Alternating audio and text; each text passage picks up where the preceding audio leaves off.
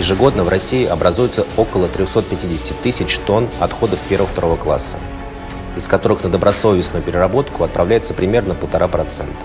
Это отходы, которые при попадании в окружающую среду наносят по сути дела, непоправимый ущерб.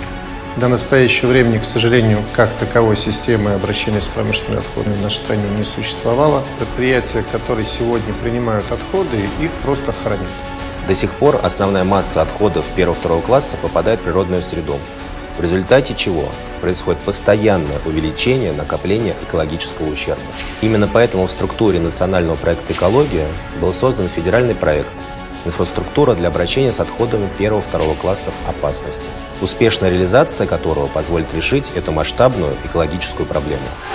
В рамках федерального проекта «Инфраструктура для обращения с отходами первого-второго классов опасности» создается государственная информационная система учета и контроля за обращением с отходами первого-второго классов, сокращенно ГИС ОПВК, для информационного обеспечения деятельности по обращению с отходами. Обеспечивать функционирование ГИС ОПВК будет федеральный экологический оператор, предприятие госкорпорации «Росатом» назначенное распоряжением правительства федеральным оператором по обращению с отходами первого-второго классов. В ГИС ОПВК будет аккумулироваться информация обо всех участниках сферы обращения с отходами первого-второго классов. Предприятия отходообразователей разместят в системе сведения о видах образующихся отходов, источниках и нормативах образования, местах накопления, лимитах на размещение. Операторы по обращению с отходами, имеющие необходимую лицензию, предоставят данные о фактическом количестве образующихся отходов первого-второго классов, об объектах обработки, утилизации, обезвреживания и размещения отходов, а также о планируемом строительстве, реконструкции и выведении из эксплуатации данных объектов.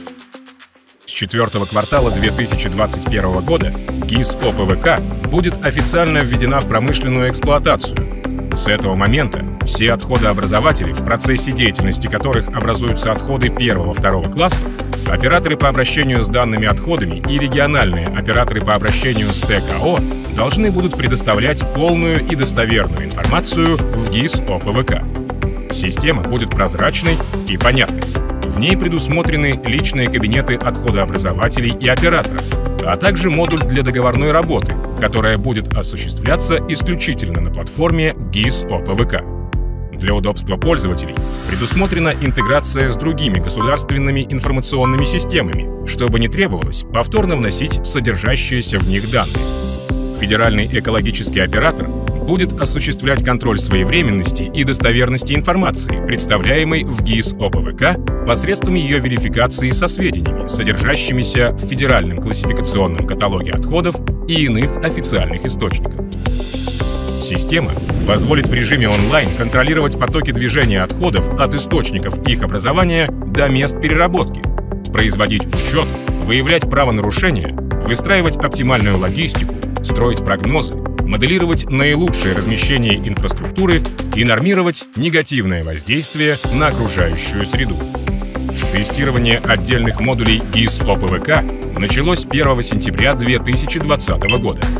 Участие в тестировании позволяет предприятиям, отходообразователям и операторам по обращению с отходами заранее начать работу по внесению данных о своей деятельности в ГИС ОПВК для комфортного и своевременного перехода к требованиям нового законодательства. За первый квартал с начала тестирования к системе подключилась почти половина субъектов Российской Федерации. Задача по созданию современной и экологически безопасной системы управления всей цепочкой от образования отхода до его переработки во вторичную продукцию в масштабах нашей страны решается впервые. Отходы первого-второго классов больше не будут загрязнять природу, а вернуться в хозяйственный оборот, став частью экономики замкнутого цикла.